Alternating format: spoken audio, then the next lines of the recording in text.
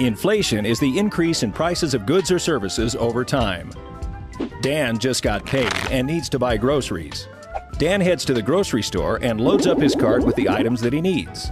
These items cost Dan a total of $100. A year later, Dan returns to the grocery store with $100 to purchase the same items. However, now the same items cost $105 and Dan is forced to remove an item from his cart. Dan has experienced the effects of a 5% inflation rate. Dan must pay $5 extra to purchase the same items that cost $100 only a year ago. Inflation leads to higher prices and lower purchasing power. It's usually a monetary phenomenon caused by a country printing more money than is justified by the country's wealth.